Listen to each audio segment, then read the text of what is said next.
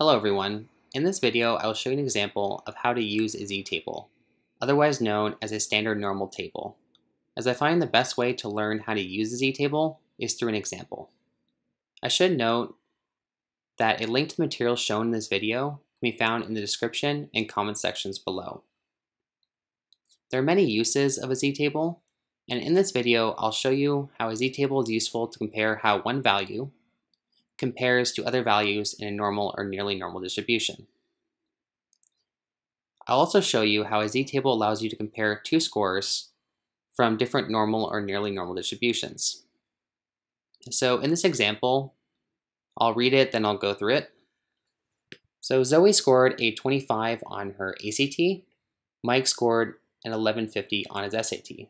Which of the two test takers scored better on the respective tests? What proportion of people scored worse than Zoe and Mike? Assume both tests have a nearly normal distribution. The first thing to take away from this question is that we have two nearly normal distributions. ACT scores have a mean of 20 and a standard deviation of 4. SAT scores have a mean of 1,000 and a standard deviation of 150.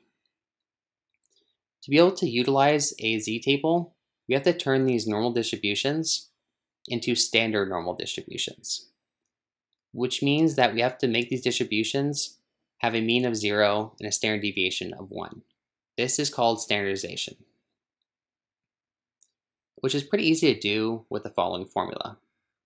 z equals x minus mu over sigma, where mu is the mean and sigma is the standard deviation. X in this case are the scores that Zoe and Mike had.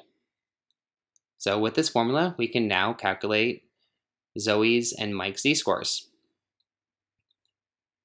So for Zoe, she had a score of 25 minus the mean for that year, which was 20. And this is all divided by the standard deviation of 4. This means that Zoe has a z-score of 1.25. We can also do a calculation for Mike, and it's the same thing, and this leads to Mike having a z-score of 1.0. Since Zoe has a higher z-score than Mike, we can conclude that Zoe performed better on her test. And while we know Zoe performed better, a z-score, sorry, a z-table can tell us in what percentile the test takers are in. And we can do this with the following partial z-table. And the values in this table are just the area underneath the curve to left of our z-score table, or to left of our z-score. And this is also known as the probability. Z-tables are generally laid out like so, where the labels for rows contain the integer part and the first decimal of our z-score, and the label for columns contain the second decimal of z.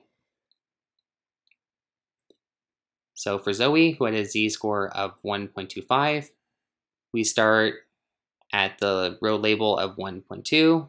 We find where it intersects the column label of 0.05, and we find the probability of 0.8944.